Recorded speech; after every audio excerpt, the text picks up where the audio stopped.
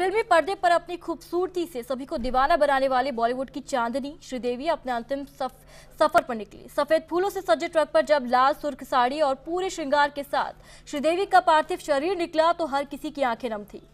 बता दें कि श्रीदेवी एक शादी समारोह में शामिल होने के लिए दुबई गई थी लेकिन जब स्वदेश वापस लौटी तो वे दुनिया को अलविदा कह चुकी थी। बीते शनिवार जब उनकी मौत की खबर आई तो बॉलीवुड समेत पूरे देश को सदमा लगा। तभी से उनकी एक तस्वीर के लिए हर कोई इंतज़ार कर रहा था। वहीं आज दोपहर करीब दो बजे, श्रीदेवी के पार्थिव शरीर को सफ़ेद फूलों से सजे ट्रक में रखकर अंतिम सफ़र पर ले जाया गया। उनका अंतिम संस्कार विले पार्ले के पवन हंस शमशान गृह में किया जा रहा है।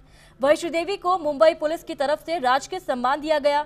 सफ़ेद फूलों से सजे ट्रक पर बोनी कपूर, अर्जुन कपूर समेत परिवार के कई सदस्य मौजूद हैं। ट्रक के पीछे कई बॉलीवुड सितारे और हज़ारों फैंस की भीड़ चल रही थी। श्रीदेवी का पार्थिव शरीर तिरंगे में लिपटा हुआ है।